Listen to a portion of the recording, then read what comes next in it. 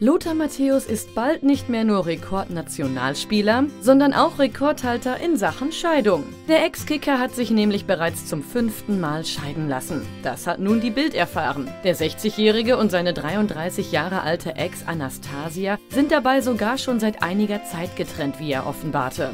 Wir sind geschieden schon seit Anfang des Jahres. Da hat sich Lothar Matthäus allem Anschein nach heimlich still und leise von Ehefrau Nummer 5 verabschiedet. Der Grund waren seiner Aussage nach die unterschiedlichen Interessen. Seit 2014 war er mit der Russin verheiratet. Das Paar hat einen siebenjährigen Sohn. Doch auch mit seinen anderen Ex-Frauen war die Liebe nie langlebig. Nur etwa zwei Jahre war er zuvor mit Liliana verheiratet. Die Scheidung folgte 2011. Von 2003 bis 2008 war die Serbin Mariana als Gattin an der Seite von Lothar Matthäus zu sehen. Fünf Jahre wiederum dauerte die Ehe mit der Schweizerin Lolita an, bis sich die beiden 1999 scheiden ließen. 1994 kam dabei bereits ihr gemeinsamer Sohn zur Welt. Die längste Ehe von Lothar Matthäus dauerte von 1981 bis 1992 mit seiner ersten Frau Silvia. Zwei Töchter gingen aus dieser Verbindung hervor.